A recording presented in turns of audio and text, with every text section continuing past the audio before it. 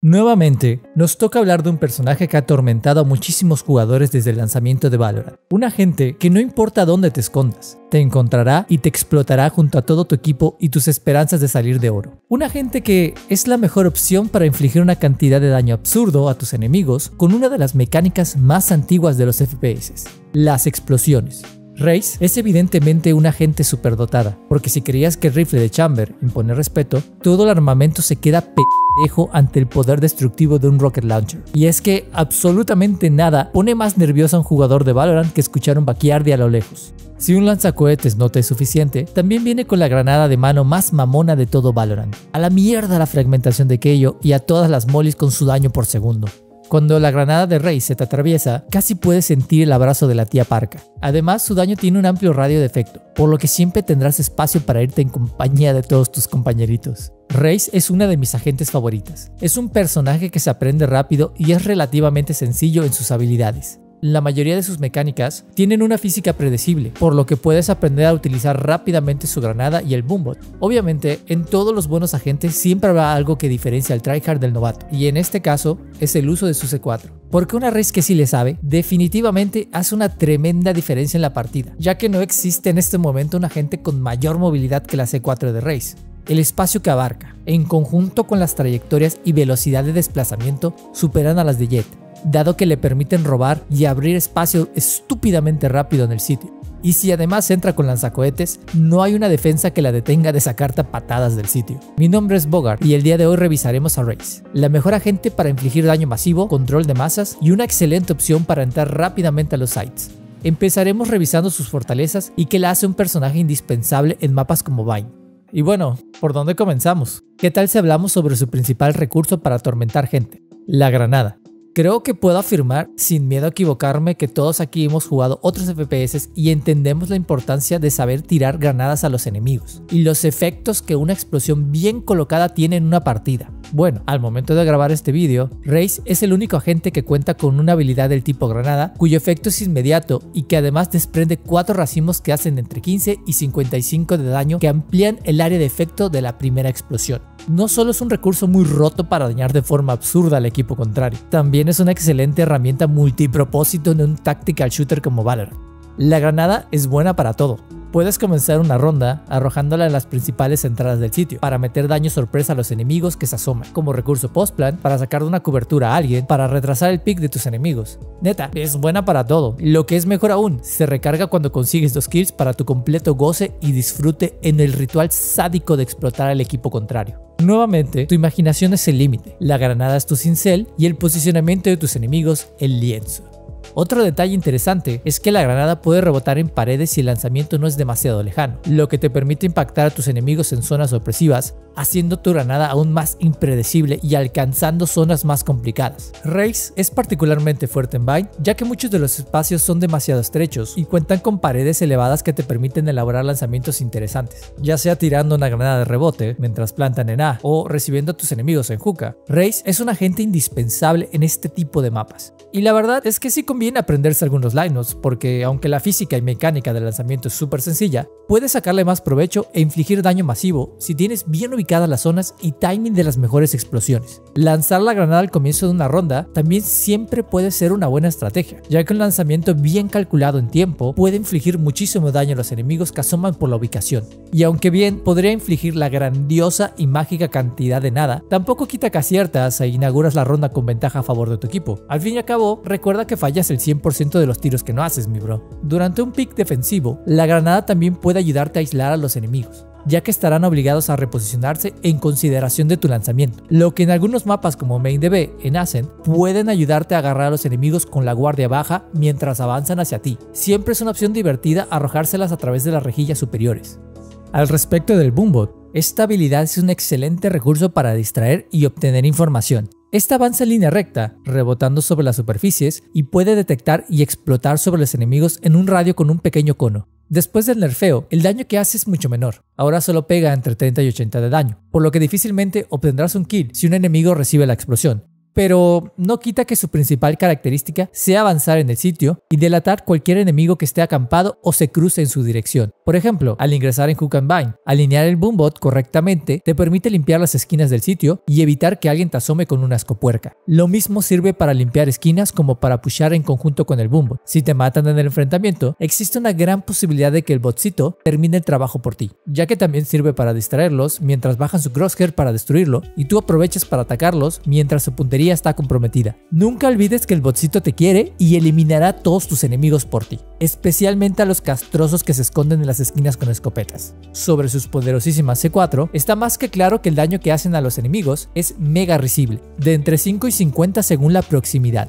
Y es que estas herramientas no fueran diseñadas para lastimar a la gente. Bueno, o sea, sí puedes arrojarlas y joderle su posicionamiento. Y en una de cada 50 ocasiones igual y consigues una kill. Pero su principal función es darte una movilidad de p madre. Es más, te cagas de las jugadas impresionantes que puedes hacer sabiendo hacer el doble satch. Recuerda que el traqueo en Valorant no es una habilidad que todos los jugadores desarrollan, por lo que usar las C4 para desplazarte son una estrategia cochina, ya que te permite ganar muchos duelos de manera injusta por la simple razón de que el enemigo se queda quieto mientras intenta predecir o traquear tu arco de movimiento. Además, no solo puedes usarlas para desplazarte, sino para bustearte o pararte en sitios impredecibles, donde tienes una clara ventaja sobre tus enemigos que no pensarán en buscarte en una esquina superior del sitio, por lo poco común que es esto. En mi experiencia personal, soy un tronco jugando con Raze, y es que en muchísimas ocasiones intenté alcanzar sitios y terminé siendo la broma de mi equipo. Esta es una mecánica que parece fácil, pero requiere de mano de pianista para apretar las teclas correctas en el momento correcto, para que tus enemigos pues no tengan tiempo de escapar o de apuntarte. Una habilidad que vale mucho la pena practicar y que cambia completamente tu capacidad de ataque con Raze. Y cuando digo completamente, hablo muy en serio, porque una race que sí le sabe a la C4 hace un chingo, y digo un chingo de diferencia. Básicamente es como el 80% del potencial del personaje. Además, no puedo dejar de insistir en lo importante que es ocupar el sitio rápidamente, y qué mejor que hacerlo con estilo y parándote en sitios impredecibles. Race es tu mejor opción para recortar distancias rápido y hasta para llevar escopetas. Es más, en algunas ocasiones te será más conveniente llevarte una Judge que la Phantom, por el alto riesgo de meterte en frega loca al sitio. Y si todo sale bien y te llevas al menos un enemigo, habrá valido la pena. Sobrevivir al doble satch y el cuetazo es pura vanidad. Finalmente queda hablar de la Ultimate de Race, un tremendo cuetón con un daño que varía de 30 a 150 según la proximidad de la explosión y el enemigo. Por lo general, tu ultimate será un motivo para que tus enemigos se caguen cuando te escuchan activarla. Y es que nadie sabe por dónde vendrá el chingadazo ni a qué velocidad. Si eres una buena race que se lanza rápido e intrépidamente, no le darás tiempo a tus enemigos de correr despavoridos. Y es muy sencillo que asegures aunque sea un kill y una posición avanzada. Si bien el cohete te hace lento y predecible, esto se arregla fácil usando la C4, ya que las necesitarás sí o sí para sacarle el máximo provecho. Un rocket launcher siempre impone respeto en todos los juegos, y en el caso de Valorant no es la excepción. La última de Race es bastante fuerte y puede cambiar rápidamente el giro de la partida en manos de un jugador habilidoso. Visualiza el inicio de la ronda en split, cuando todos intentan ingresar rápidamente al sitio y en bola desde rampas, te puedes lanzar rapidísimo y volar sobre tus enemigos con el cohete. Un escenario donde fácilmente podrías obtener dos o tres kills con un buen timing. Sin embargo, en manos de una race inexperta, estas aperturas no existen y se desaprovecha el poder de su ultimate. Qué difícil es buscarle defectos a la perfección. La verdad sería muy necio decir que sus explosiones deberían meter más daño o incluir una zona de efecto más amplia. Raze está lejos del personaje roto que era al comienzo de Valorant. O sea, yo sé que nada va a superar la cámara con pistola de Cypher, pero es un hecho que ha sido balanceada con pequeños y cuidadosos ajustes. El Boombot es el mejor ejemplo, ya que ha sufrido cambios en su costo de créditos y daño total. Pero es un hecho que los 10 segundos de recorrido que dura es un buen tiempo para explotar muchas zonas del mapa y limpiar esquinas complicadas. Si no te gustan los lineups y piensas que jugar Race no necesita aprender cosas, lamento decirte que te equivocaste de agente, porque hasta el Boombot tiene lineups. Por ejemplo, en ataque de B, al ingresar a Hook and Bind, tirar el Boombot bien alineado te permite limpiar el sitio y evitar que te apliquen la escopuerca, o bien joder el pique agresivo del equipo defensor. Y aunque se puede destruir los 100 HP del Boombot lo hacen bastante resistente a muchas armas. Recuerda que debes tener clara tu intención al utilizarlo, si es obtener información o estorbar el crosshair de un enemigo al momento de piquear. Si vas a emplearlo de la segunda manera, te conviene avanzar cerca del bot o será una utilidad desperdiciada, ya que por su velocidad será muy difícil que le haga daño a tus enemigos que tendrán tiempo de sobra para reaccionar a él.